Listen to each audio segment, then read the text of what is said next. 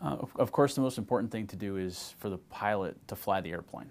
That is the most important thing to do.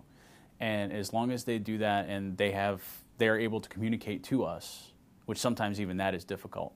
As long as they are able to communicate to us, we have tools that we can use to find the closest airport. If they're not close to an airport, even though it might be IF, IMC conditions, we still try to give them the best chance that we can. Let them know where the power lines are. Let them know where the highways are, so they can maybe put down on a highway. That type of thing.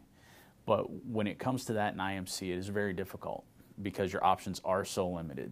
But we just try to give as much information as we can without being distracting to the pilot from them flying the airplane because we don't want them talking when they need to be flying.